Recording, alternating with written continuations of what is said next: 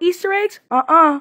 Oh man, I don't got no Easter eggs. Here you can have ours. Thank you. Can Sure you can. Mm, thank you guys.